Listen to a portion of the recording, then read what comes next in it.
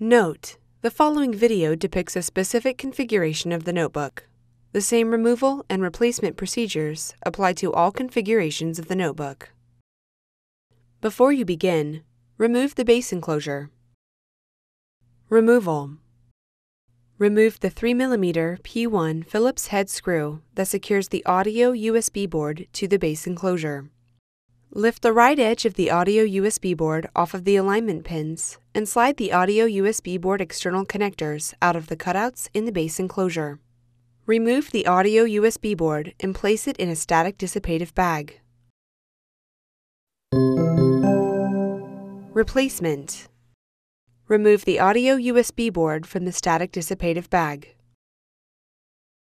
Tow the external connectors on the audio USB board into the cutouts in the base enclosure and lower the audio USB board onto its alignment pins. Replace the 3mm P1 Phillips head screw that secures the audio USB board to the base enclosure.